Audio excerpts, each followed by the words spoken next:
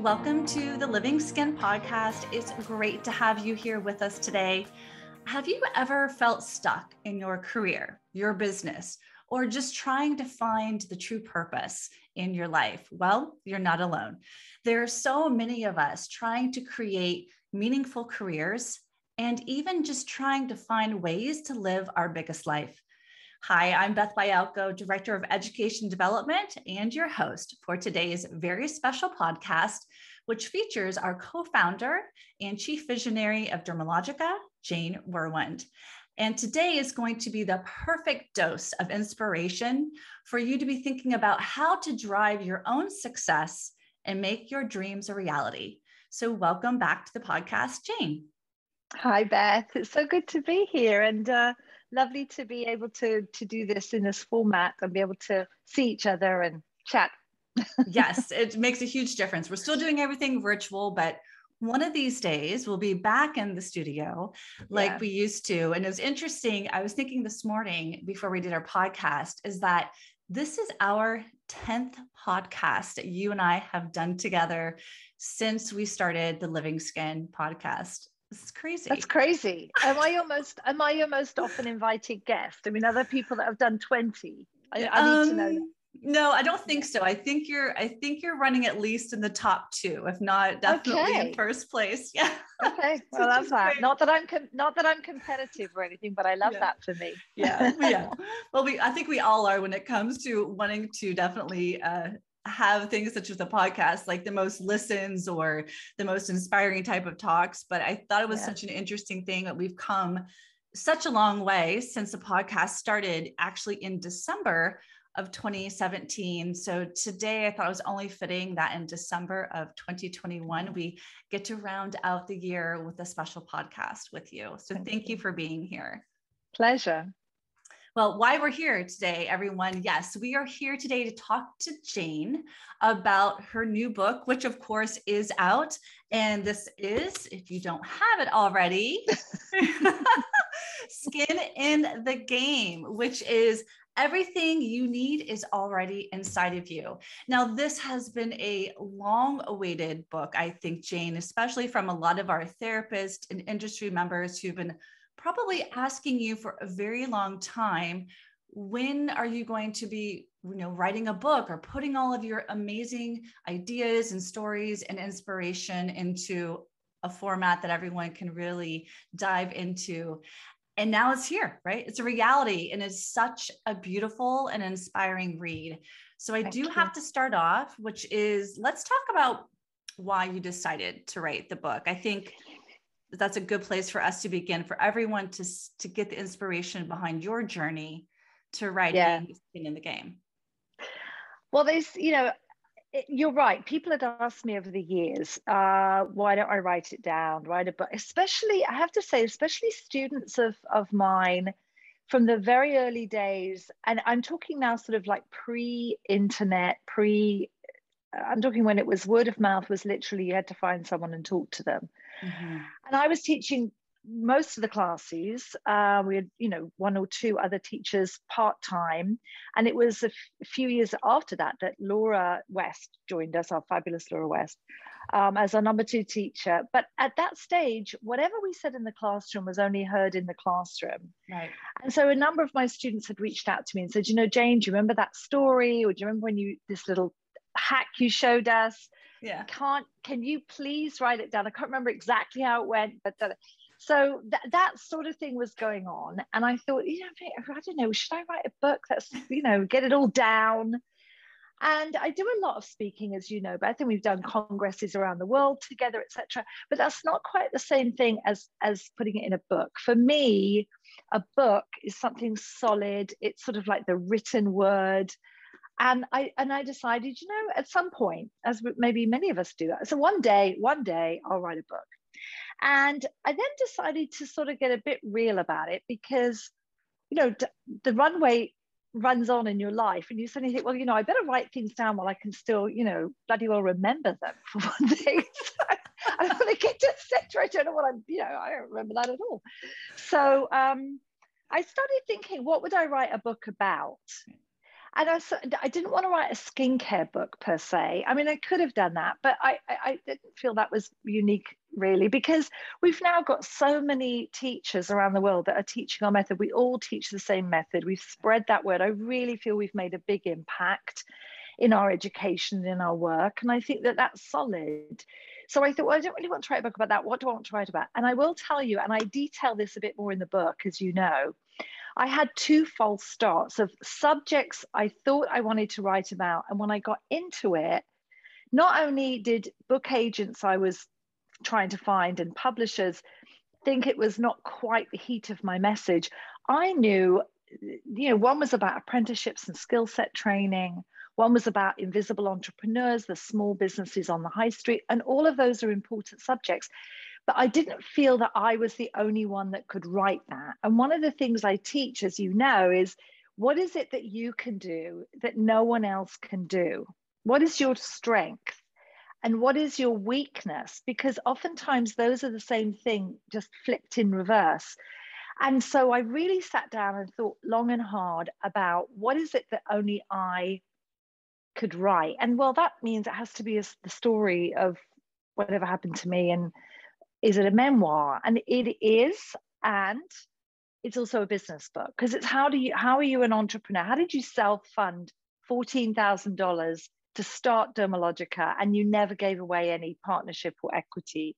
How did we do it? How did Raymond and I do that? And how did you come up with 27 products right out the gate? And how did you name them? And then what's your hiring process like? What's your firing process like? So I wanted to write down some business things. And then also, I'm a parent of two grown children. I've been in a relationship with Raymond. We're married for uh, 40 over 40 years now. How does that work? You know, keeping all that going. Life's not about balance, it's about resilience. And I talk about that.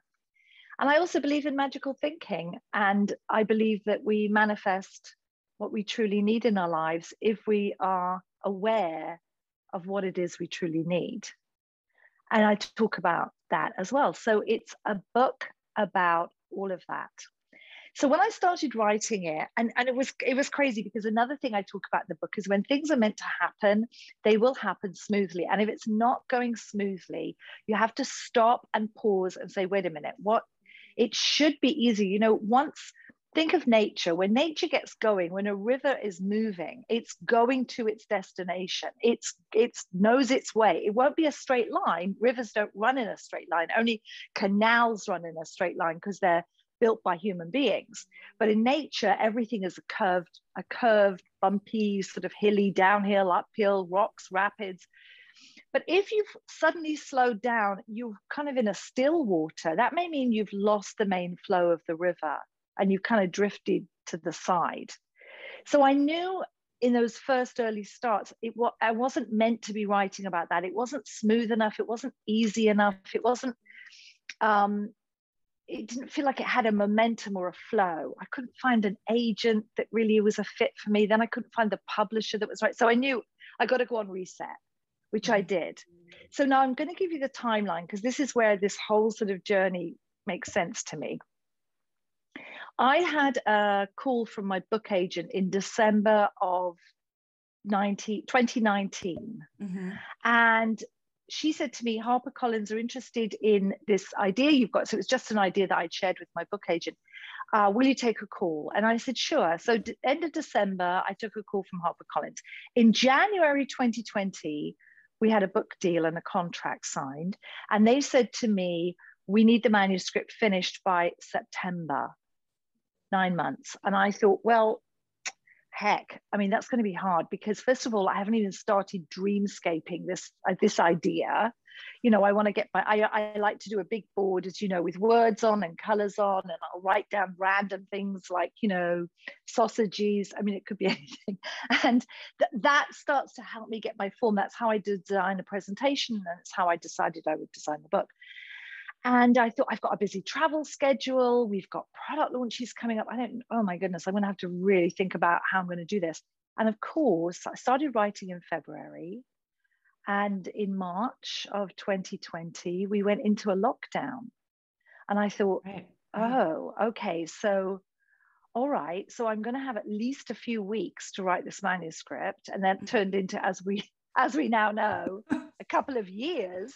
Right. Um, and what I realize now, and this is the the sort of the journey of of it, that was when I was meant to start writing the book because the book is actually about what how do you reset your life, your career, a relationship? How do you hit the reset button and say, I don't think how I'm doing this is working. I don't think what I doing is working. I don't think my career is on track. I talk about how, that in the book. When I had a mm-hmm. moment where I thought I have to get this together, otherwise I I'm not going to have the life I want to live. Mm-hmm. Um, how do you reset a relationship, even a marriage. And I talk about my first marriage and and the decision I came to that that was not the right choice for me, uh, or them, obviously. And then and then how do you reset even the country you live in? I've emigrated to two different countries, South Africa and the United States. Came here with a suitcase and my, you know, beauty school diploma rolled up inside and no money. And okay, so what does that look like? And how do you get through those moments? And we've all done tough things, we've all done tough stuff. So it's not like my story is singular. But I mm. think that by sharing all those things, it adds up to something that I'm actually really proud of. And it's, to me, it's sort of like a love letter to our industry um, I could not have had my life without the professional salon industry. I couldn't have had it without amazing students, and and you were a student, uh, Beth, and so you know those many of those went on to join Dermalogica, open Dermalogica salons, um, be in positions of leadership in in our industry, and I'm really proud of that. And so that's sort of all about having skin in the game, and that's that's the title of the book. Everything you need is already inside you. We just have to find out where. I think that's such a great way of really putting it to the fact of there's so many different facets of this book. Now, of course, you know, I have read it twice now. So I know you can also get the audio book, you know, I'm I write exactly. Exactly. We do. There is an audio version, which we are going to talk about that today. And I mean, I even have two versions. One is like keeping it very clean and pristine. And I have a second copy of the book where I'm like highlighting and then like scribbling in. Um, because as you know, as educator, we just have like a little of this type A personality. we want to keep our notes. And then of course, you know, our, our guiding piece completely yeah. separate. Yeah. And I think that's what's so inspirational behind this is like how many aspects of your life actually have contributed to where you are today. And it's not always just the good stuff. And I think that's what, you know, even as we move forward into careers or business or family relationships, learning how to navigate those areas where it's not the most comfortable or it is the most challenging that kind of brings you, I think, even better and stronger out on onto the other side as well. Now you mentioned that um, you talked a little bit about um, Raymond and different aspects of your life growing up and your childhood, there's a lot of actually personal, intimate stories in this mm. book. And I know there's quite a bit about your childhood and your relationship with your mom and your sisters. So, can you share just a couple a couple pieces from the book that that our listeners can look forward to to read or to hear on the audio version if they haven't done so already? Yeah, and I'm going to share something uh, new with you too. So, oh, great uh, about about the book that I only just learned. Okay, so okay, good. So, um, yeah, I, look, we I believe that the hardest things, the most painful things in our life, are also often the most productive. Mm-hmm. And I, I, my analogy, and I love analogies, is you know, my analogy is you know, when you give birth, it's not the most comfortable thing you've ever done, and it's a life-changing moment for for many people and you know the mm-hmm. baby yourself whoever's your partner your family you know the world right so i we can't avoid the the pain of living and none of us none of us do we so how do we deal with it how do we somehow turn that into something positive so i could tell my childhood story and it would sound pretty tragic because my mother was widowed at age 38 with four girls to raise. I was two years old, a month short of my third birthday, when my father died suddenly uh, at 50 years of age. And my mother was left. She had not worked since she got married. There was no money. We didn't. Have, I didn't come from a wealthy family. There wasn't a trust fund. In fact, my father died with the mortgage insurance, the insurance for our mortgage, on a their very first house that they just purchased, having lived in in council housing, um, you know, public housing, and so he died with that insurance policy in his pocket, not signed. So my mum you know, was in this brand new house and they'd only been there a few months and she had a mortgage to pay and she had to go back to work. And she figured it out because she had a skill set. She was a trained nurse. So the dot, I talk about the dots on the paper of our life that seem random, and yet actually they all join up, just like those connect the dot puzzles when we're children. The dots are all in front of us as we're looking at our life, but it's when you join them up, it's the bits between what happened that actually show you what is in front of you. And so my mum sort of drummed into my sisters and myself learn how to do something. You have to have a skill set that you can literally turn on a penny and, and get a job. And that became really important to me this idea of being self determined. It wasn't about becoming wealthy or rich. Or that, that really hadn't uh, occurred. I haven't really thought about that. But I definitely wanted to be financially independent. I wanted to be able to, you know, pay my rent, get my dry cleaning out of the dry cleaners and yeah, drive a car, whatever it was. I wanted to be self-sufficient. And that element has always been important to me in my life. Mm-hmm. I've had relationships where people have said to me, you know, oh you you care you're very ambitious you care so much about success. And i said well actually no that's not it. What i care about are the options choices and opportunities that come with being self-determined that come with financial independence. So i've always been especially um, connected to this idea of women or somehow underserved communities um, of people that that need to have the chance to be self-determined because that was my mom and that was my family. And you know i don't know how she scraped together keeping us going on a nurse's salary at that time. She worked night shifts i talk about that. I went to school at four and a half years old and my mum tied our back door key around my neck and hid it in my school uniform and told me not to ever tell anyone that that was there because i used to go around the back of the house and let myself in at the back door at four and a half, which now, of course, I realize, I mean, I would call child services probably if I saw that happening. But oddly, I felt very em- empowered. I felt mm-hmm. very um, trusted. I felt like I had a job to do. I and then I also talk in the book how I would play out these enormous fantasy games in the empty house because when I got home there was no one home. My sisters were older than me; they didn't get home from school from their middle and high school until about an hour later. So I would live out these full-on fantasy games, running around that the house on my own.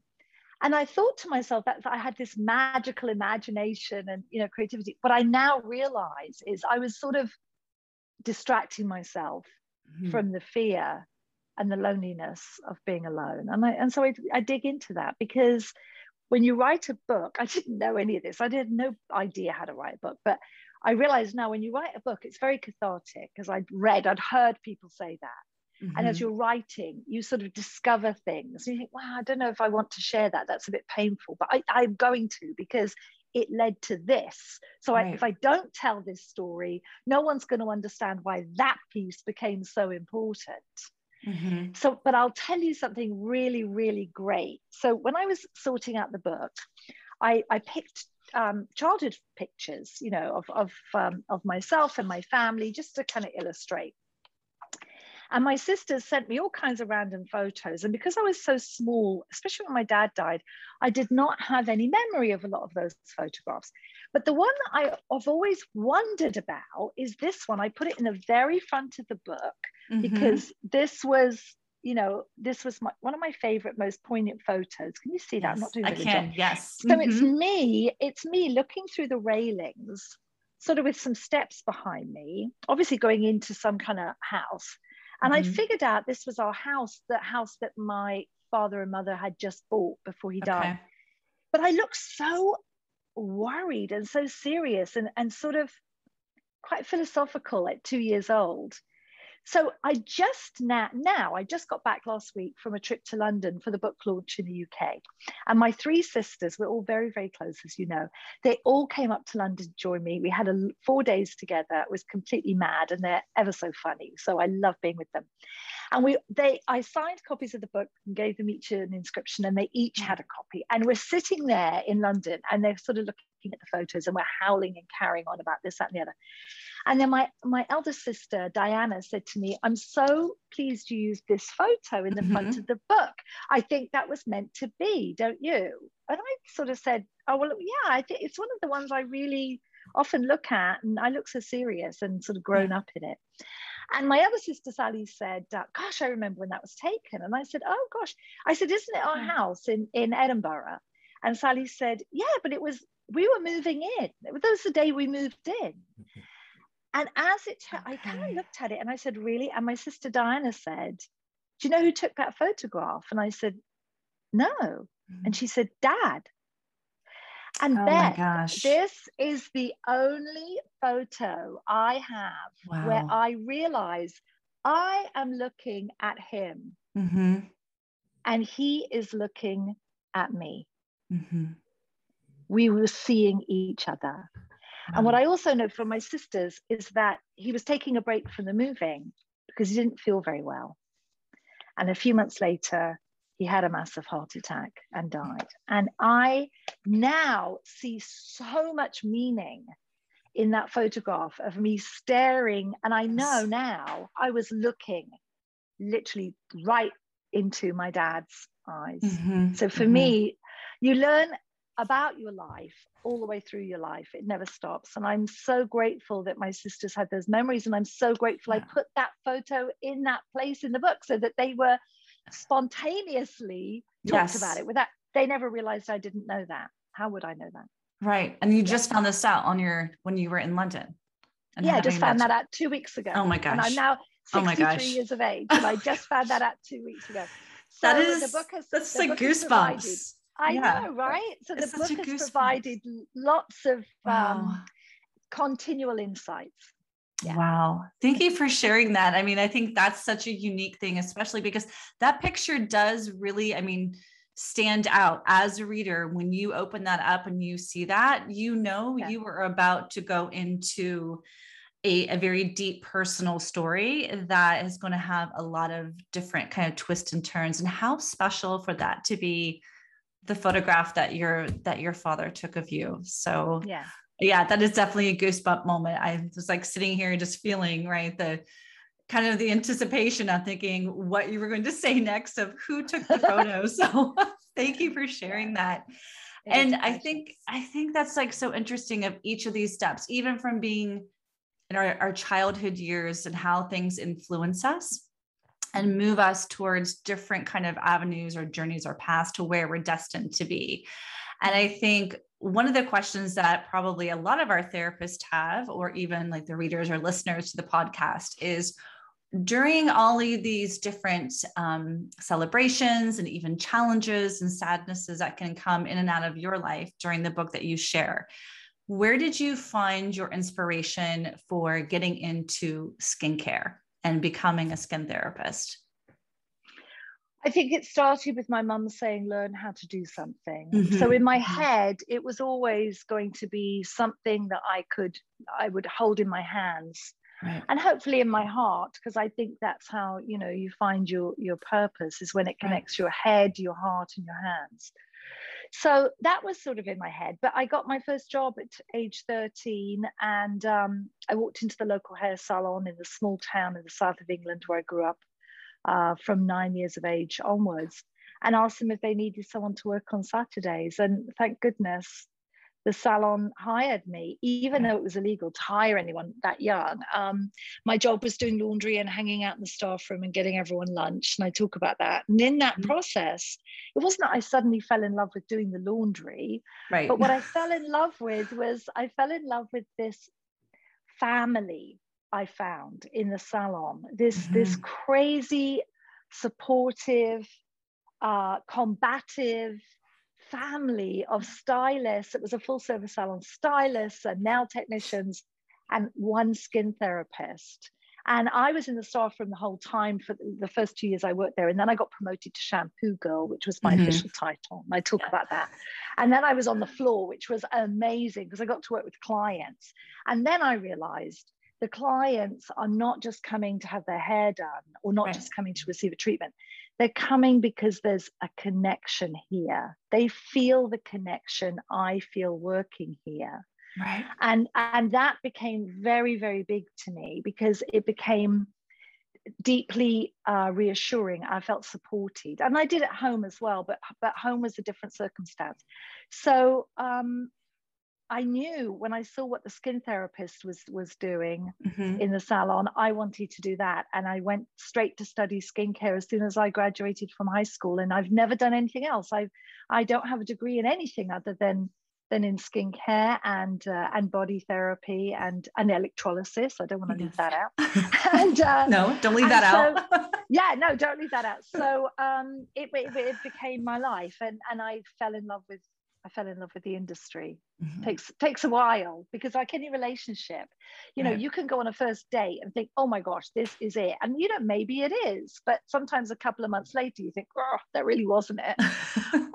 but um, so it takes a while to really fall in love with someone or something and you do that by perseverance and hard work whether it's a mm-hmm. relationship or whether it's your career and in the process of that i'm so grateful beth that i had a two-year training and a one-year apprenticeship be- before i was fully qualified and and that was the standard in the uk then and I, I, probably would have bailed if I'd only had a few months training or perhaps yeah. not an apprenticeship because I I wouldn't have known enough to start on my own.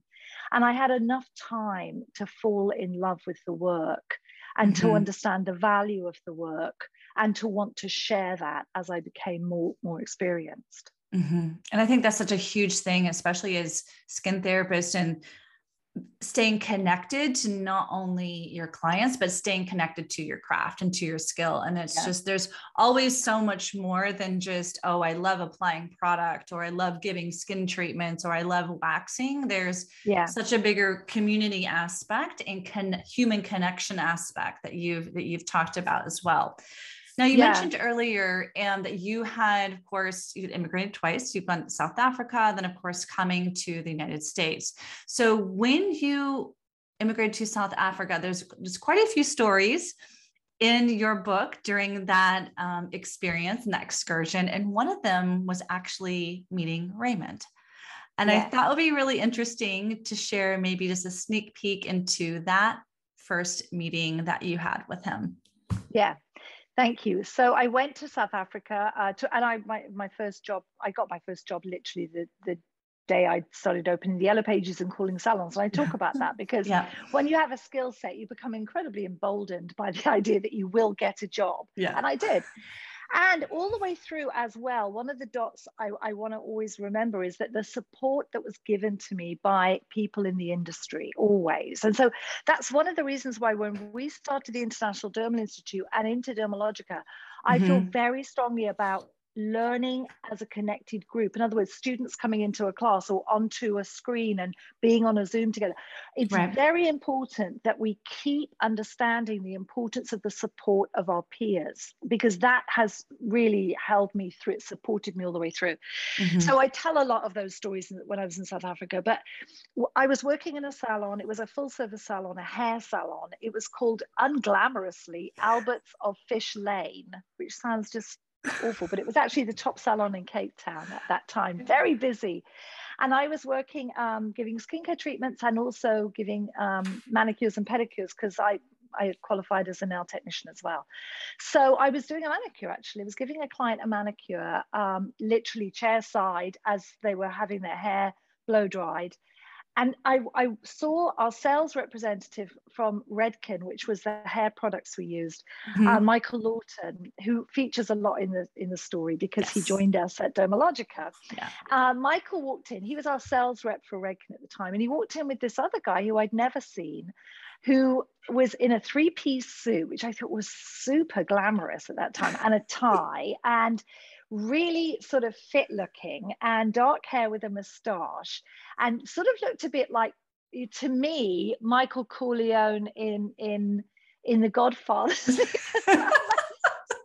I, I Which is you know. that's a that is a good visual. I have to I have to applaud that one because I, know, feel right? like that is spot on right there. Yes. Yeah, yeah, because he's got had a lot of presence. yes. And uh, and he came and introduced himself to everyone in the salon, which I was also impressed with. Uh, he was Michael's boss's boss. He was running the division for the okay. distributor for Redken. And I thought to myself, that person, I don't know who they are, that mm-hmm. person is significant. Okay and I didn't really, I, I, thought, I imagined it was significant because obviously he was a big deal at Redken, but mm-hmm. it wasn't only that. It was, I had a personal feeling of significance. And I talk about this, one might call it intuition, you might call it, you know, a feeling, a vibe, you might call it, you know, mutual attraction, whatever mm-hmm. it might be. But whenever somebody, I don't care if you're at a cocktail party and somebody is at the other side of the room, when you have a feeling that something or someone or some word it doesn't matter what it is, is significant. It makes you pay attention, mm-hmm. pay attention, because yeah. I don't think it's random. And it was another year or two till I saw Raymond a second time, but I never forgot that first time. And even though on the second time we met each other, I talk about the fact that we were playing very cool, both, both of us remembered that first meeting as well. I love that. And then, and there you go. A few years later, your business partners, and you're starting to disrupt the industry, of course, in 1983 yeah. with the International Dermal Institute, and of yeah. course, Dermalogica in 1986. And Dermalogica is, is definitely a significant part of the book. Um, and we won't share all the details with that because we definitely want to leave some something for you guys to be able to experience and read and kind of get some insight into. But there was quite a process with Dermalogica. It's not like it just popped up like, here's the name, here's the product, and let's go. There was a lot of processes from actually picking the name, uh, finding the chemist, figuring out the type of products, because the products that were being created by you in 1986 were completely opposite of what was really happening um, mm-hmm. in the industry. And a lot of our therapists are probably already thinking to themselves, yes, right, no fragrances, no no dyes, no lanolin, no artificial colors, and kind of the list goes on. What do you feel from kind of like that original startup would be a great piece of the story that you'd like to share today? Like maybe as far as like the product development or something that really sticks out in your mind? I know the list is probably too many, but I would just love to, to have a small well, story you know, as you're te- as you're telling this, uh, you're sort of giving the, the framework of it. What mm-hmm. always stands out to me is the incredible excitement we had. I mean, there was uh, we just, you know, I just talked about the, this idea of being significant. Yeah. I, I just we both knew this was something we felt very, very special. We felt it was very special, and we just mm-hmm. we just were absolutely convinced that other people would feel the same right. that it was a product that eliminated ingredients. We didn't boast about a magic secret ingredient. We talked about what we didn't have in. Mm-hmm. Uh, we wanted the products to be um, easy to understand special cleansing gel, um, skin smoothing cream, soothing eye makeup remover. We didn't want it to be mysterious in any way. We wanted it to be education based. And remember, we'd had the International Dermal Institute for three years. So we were an education company that was developing a product. Mm-hmm. We were not a product company that was somehow designing education. Right. So it's very, very different. So when we were coming from that that that base of education and, and, credibility with the International Dermal Institute, we had to connect the name to that. So we knew it was dermal was going to be in the name somehow. We wanted it to sound pharmaceutical. So we decided to use Latin because pharmaceuticals are written in Latin. And we came, first of all, it was dermalogical with an L. And then Raymond said, I think it's better with that. I think it's dermalogica. And I said, yeah, I do too. It sounds more like pharmaca. You know, it sounds it mm-hmm. sounds anything with a vowel sounds sort of I don't know different. We liked it. We just liked it better. Right. Um, so naming the product, it all came from that base of we're an education company with credibility. Right. So there's going to be no gimmicks. There's going to be no secrets. There's going to be no prom- false promises. The names aren't going to be mysterious. It's not going to be, you know, secret Bulgarian youth oil or anything like that. So, um, which you know, it's fine if that's your gig, that's fine. It wasn't going to be named after me, that was for right. sure, because that was just too. It, that's not who we were and not who we are, and I didn't. I that. The only thing I've ever put my name on is this book, because it's the, my story. I didn't want yeah. to own the name of the, you know the product. So, um, yeah, that I tell all those the bits of that, and then how do you find a chemist? To, to make a product that's never been made before and how do you do it when you haven't got any money to pay them? And i talk about exactly how we did it and the formula we came up with and the contract that we proposed to the chemist.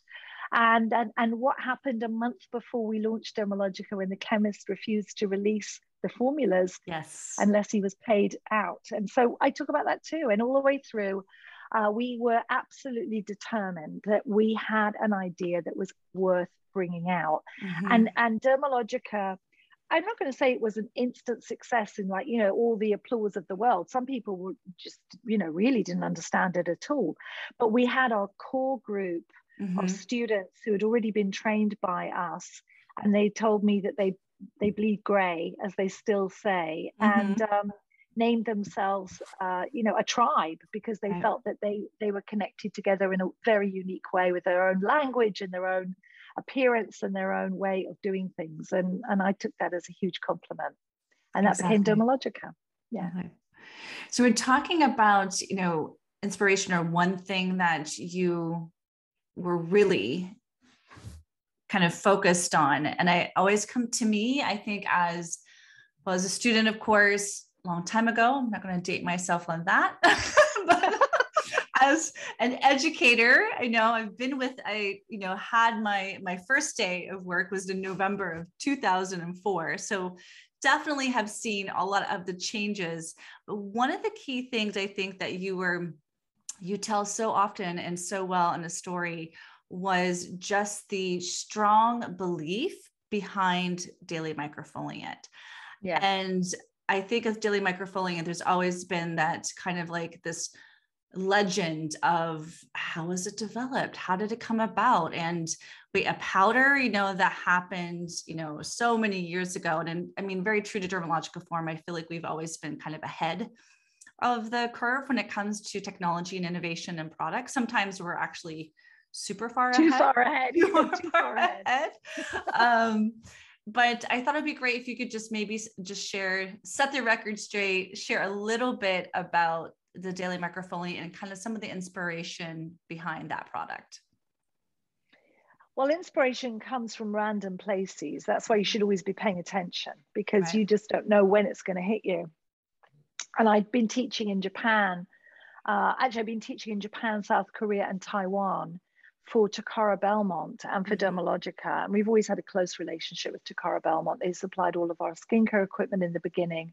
Raymond worked for them at one point in the beginning. And so you know, we've always, loyalty is another piece that kind of threads through my story. We've had long relationships with a lot of people. Mm-hmm. Um, so I was teaching for them and I was I was really burnt out. I was really tired and, and teaching in translation, as you know, Beth, is, is often difficult. And you're you're in a new country and I needed a break before I flew back to the States. So I took myself off to a traditional Japanese onsen uh, the foot of Mount Fuji, there's a hot spring, sort of mineral hot spring spa town called Hakone. Mm-hmm. And I mm-hmm. went there um, for a week with the intention of almost like a silent retreat because I don't speak Japanese and they spoke no, no English. So I, I was going to be inspired, you know, by the hot springs and Mount Fuji and being in Japan and all, all the people I taught and all this swirl in my head. I tell the story detailed about how I did not feel any inspiration when I was at the hot spring. I didn't have any any good idea. I I was trying so hard, you know, be inspired, come up with an idea, mm-hmm. look at the mountain, look at your Zen garden, and it was all fantastic. But I had, I was trying to force the idea, which cannot work. You cannot force creativity. And on the very long two and a half hour cab ride back to Tokyo from Hakone at the end of this week, which I thought had been unproductive.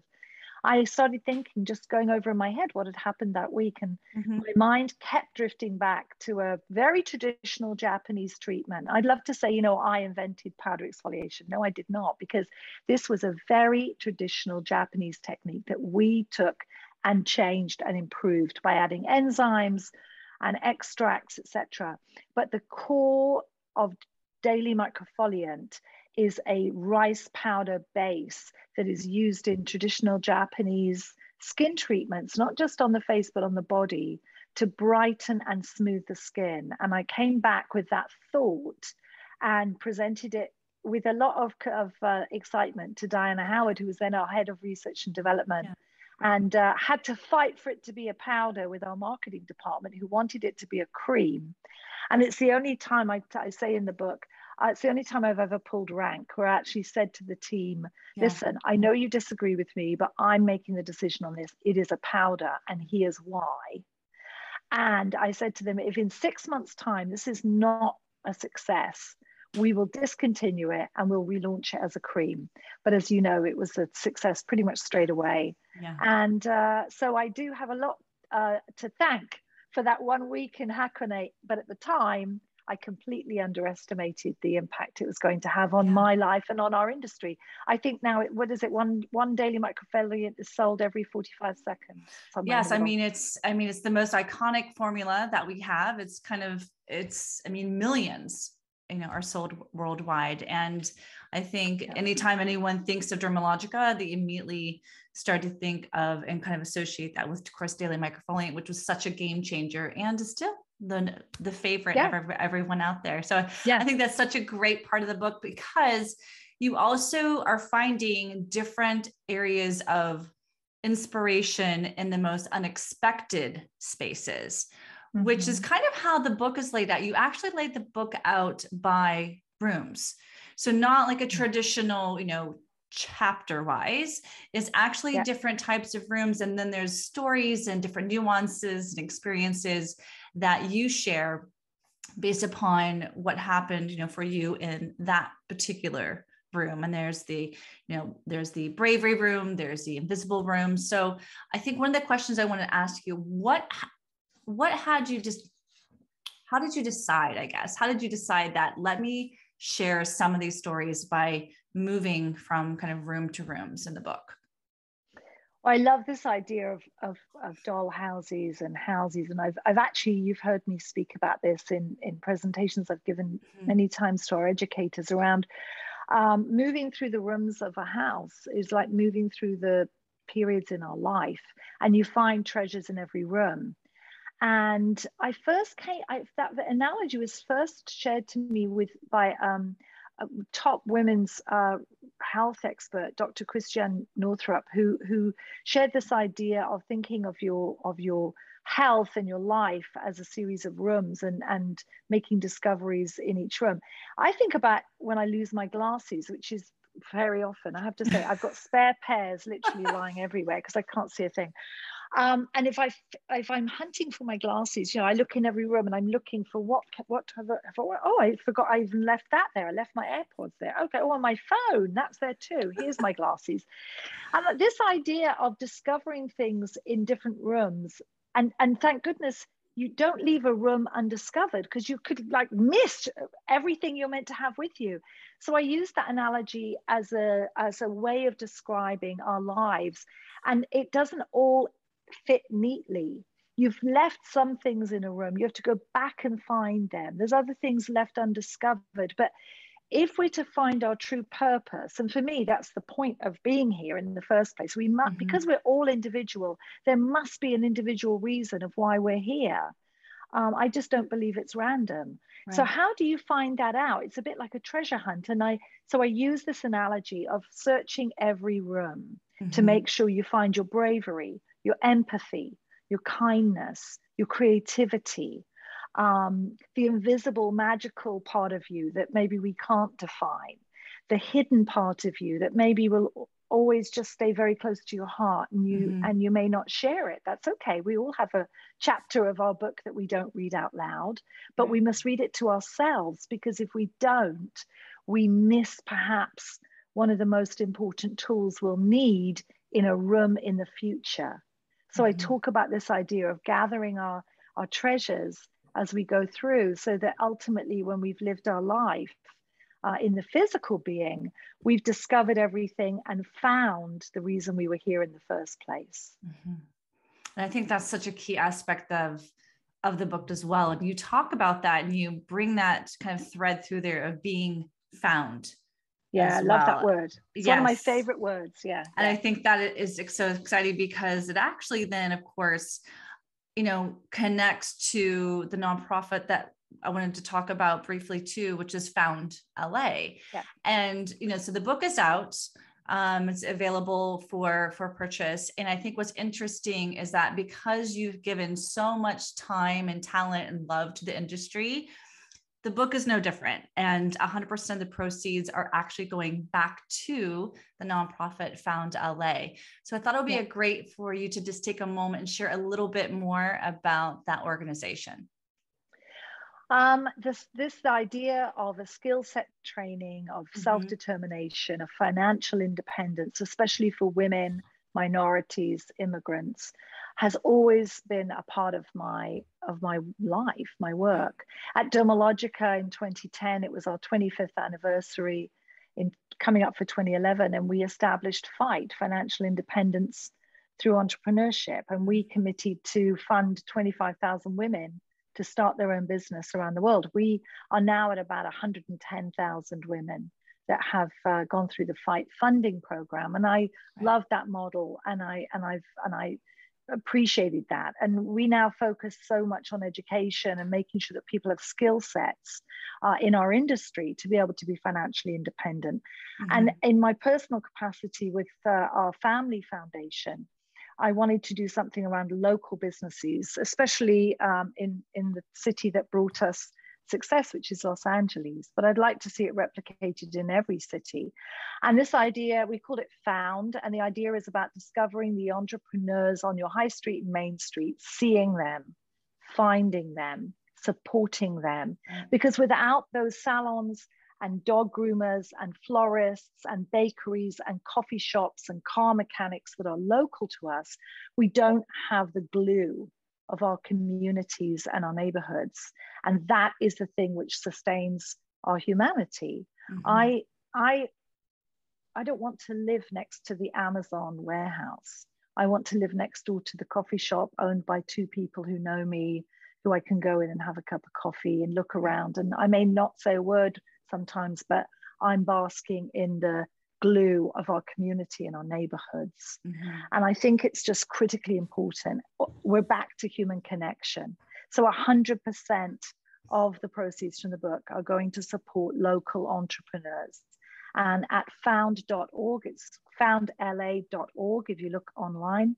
Uh, there's lots of resources and support. It's free. Go on. You can apply for funding. You can apply for education training. It could be virtual or in person, and connection to other entrepreneurs. And I encourage every one of our salon owners to do that. Everyone who has a business who might be watching this or listening to it or reading the book. Uh, the details are in the book, and 100% of the proceeds go to support those entrepreneurs. I love that. I just think that's such a powerful aspect of just everything that you do that the community has actually, you know, been built upon for for Dermalogica and just kind of the the underlying kind of mission and yeah. ethos of the brand as well too. So I'm going to ask you a small favor on our last little bit of our podcast today. And I'd love for you to read a small section from the book. And I know there's a section that talks about how to always love your work. And I feel like that's so insightful and such an amazing message that I know it's a take, it was a takeaway for me from reading the book as well. But I thought it'd be great if you could just share a small excerpt with our listeners today. Well, thank you, Beth, for that opportunity. Of course. Um, I think it starts with that. Once you love your work, mm-hmm. you find your heart. Mm-hmm. And if you find your heart in your work, uh, you never work a day in your life. Right. That's great. It all becomes part of what you what you are. Yeah. It's um, from the book Skin in the Game, uh, written by me.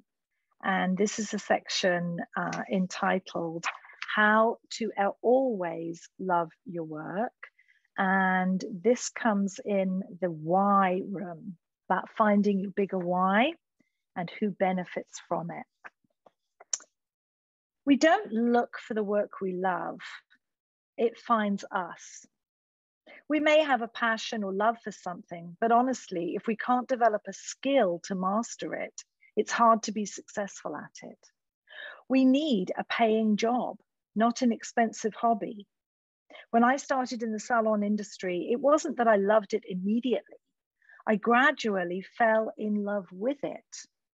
I fell in love as I became more skilled and people appreciated what I did for them. It's a process of development and it takes time. Like any relationship, we sometimes enjoy it, but don't love it.